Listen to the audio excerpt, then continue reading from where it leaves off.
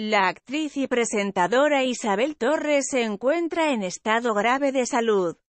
Desde que en 2018 anunciase que había sido diagnosticada con un cáncer de pulmón, la actriz y presentadora no ha dejado de luchar para plantar cara a la enfermedad.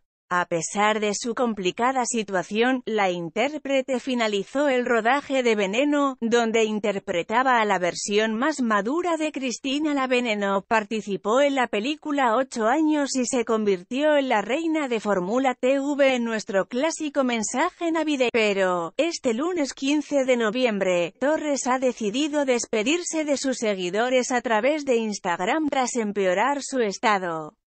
Este es el último vídeo que voy a hacer por ahora, comienza explicando la canaria.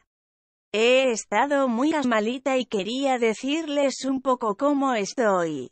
He tenido un poco más de metástasis en los huesos y por eso he estado ingresada en el hospital, aunque ahora estoy en casa de mi mejor amiga, añade.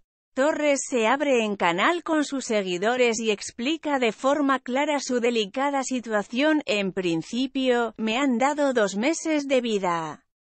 Vamos a ver si lo supero, y si no lo supero, pues también, ¿qué vamos a hacer? La vida es así de caprichosa. No sabe lo que me duele, el dolor es lo peor que llevo, explica la actriz en este desgarrador video.